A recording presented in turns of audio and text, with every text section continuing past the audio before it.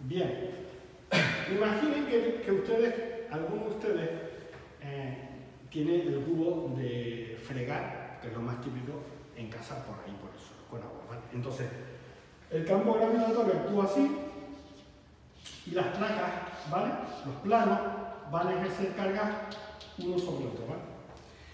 Si yo cojo lateralmente, doy un pequeño empuje con el pie al cubo, le voy a hacer que el cubo sea un sistema de referencia no inercial y por tanto va a aparecer una fuerza inercial sobre el agua del cubo que va a actuar en sentido contrario.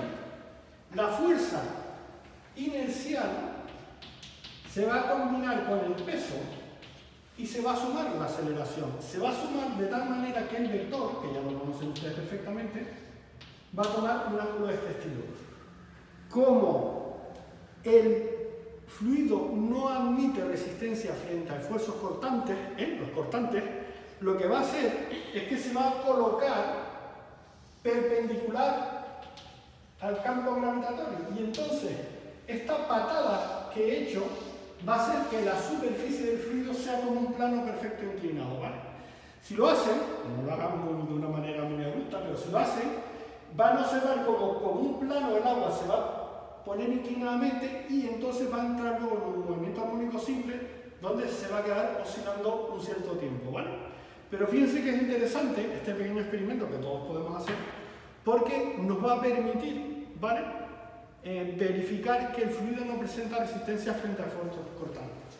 Bien, la cuestión, como en física todo se calcula, porque si no se calcula no tiene ningún interés, no es física, la cuestión es, si yo tengo, eh, bueno, la operadora me dice que vaya, que venga un minuto, vale, si yo tengo un campo gravitatorio con un kilo de agua, un kilo de agua, ¿vale? Y le coloco un empujón lateral de medio kilopondrio de agua,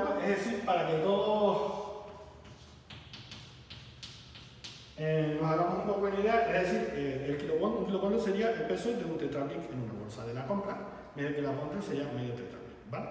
Es aquí tengo pues, un tetrabric de agua y empujo pues medio tetrabric lateralmente. ¿Qué ángulo obtendré? Es una buena pregunta. ¿Qué ángulo sale? ¿Vale? Bien, fíjense lo siguiente. Esto se va a componer con un vector de tal manera que la superficie va a ser perpendicular al vector sur. ¿Vale? Y bueno, eh, corto, ahora cuando una solución.